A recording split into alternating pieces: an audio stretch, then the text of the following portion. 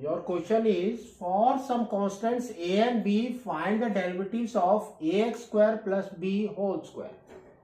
First what we will do just we will try to solve it.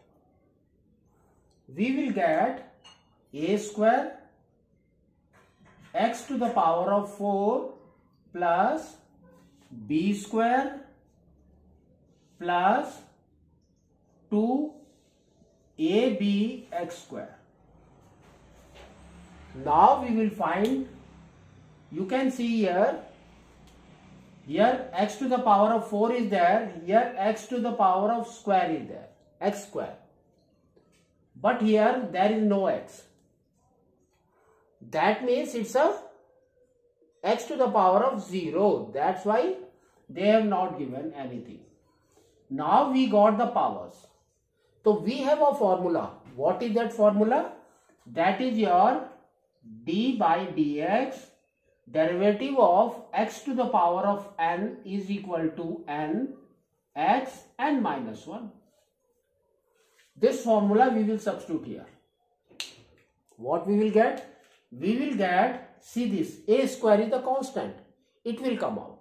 That means you will get a square d by dx and x to the power of 4 plus now, b square is constant and x to the power of 0 is also constant. Huh? Or you can write in this form also.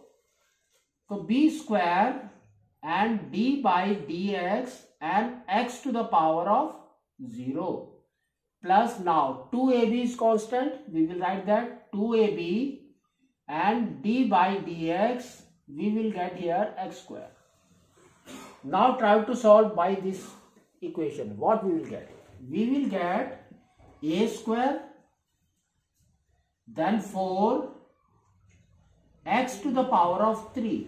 4 is there 3 plus b square and 0 and x to the power of minus 1 plus this is your 2ab into 2 and x. and know, 2 minus 1 is 1. That is x.